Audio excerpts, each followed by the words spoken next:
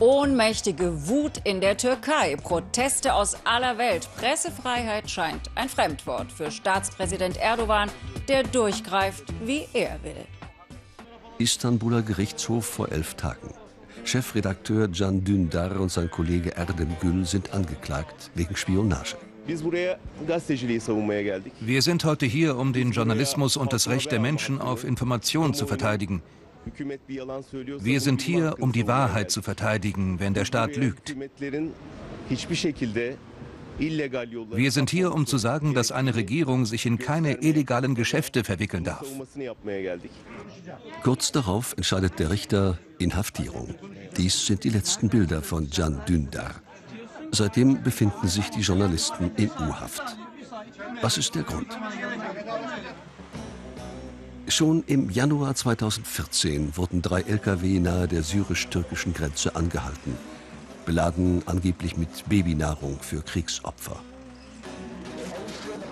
Wie zynisch. Denn bei der Durchsuchung entdeckten Sicherheitskräfte Kriegsmaterial für Islamisten. Hunderte von Raketen und Granaten. Die Begleiter der Fracht, die festgenommen wurden, waren nicht irgendwelche Leute, sondern türkische Geheimdienstler. Präsident Erdogan wollte die Macht nicht teilen. Er hat sich Feinde gemacht, indem er alte Weggefährten abservierte. Die haben das Filmmaterial vom Waffentransport allen Medien zugespielt und wollten so einen Gegenangriff auf Erdogan starten.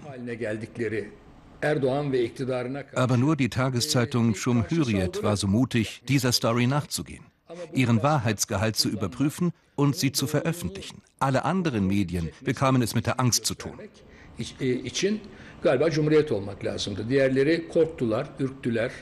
Damals machte Can Dündar die Story des Waffentransports zur Chefsache. Tagelang berichtete er über den Inhalt der Ladung und brachte viele Details ans Tageslicht.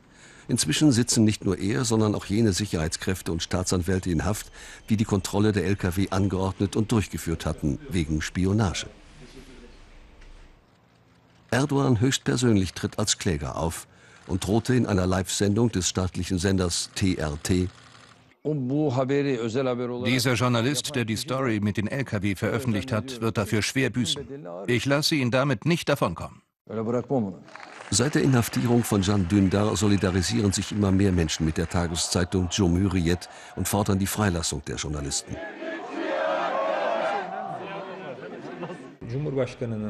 Es ist ein Skandal, dass der Präsident des Landes hier als Mitkläger auftritt. Es gibt einen Gesetzesartikel, der das verbietet. Er besagt, dass niemand der Justiz Anweisungen, nicht einmal Ratschläge erteilen darf. Der Präsident hat aber gesagt, Dündar wird zur Rechenschaft gezogen. Somit hat er den Richtern und Staatsanwälten schon die Richtung vorgegeben. Das ist aber ein weiteres Zeichen dafür, dass das Land leider ganz schlimmen Zeiten entgegengeht. Auf der Rangliste der Pressefreiheit liegt die Türkei momentan auf Platz 149 hinter Malaysia und Mexiko.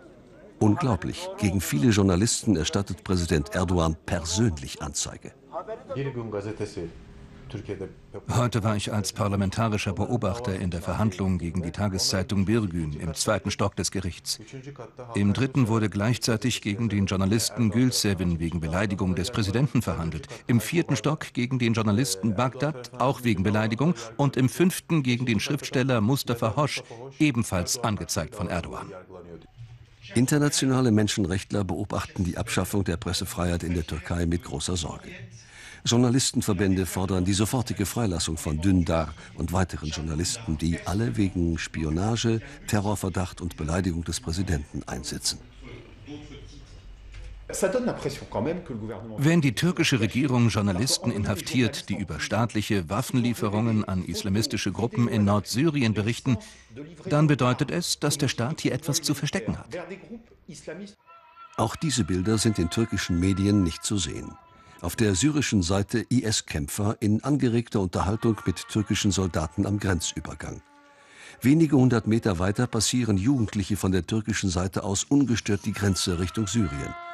Auf den Pässen vieler gefangen genommener Islamisten sieht man, die meisten von ihnen haben den Weg nach Syrien über türkische Flughäfen genommen.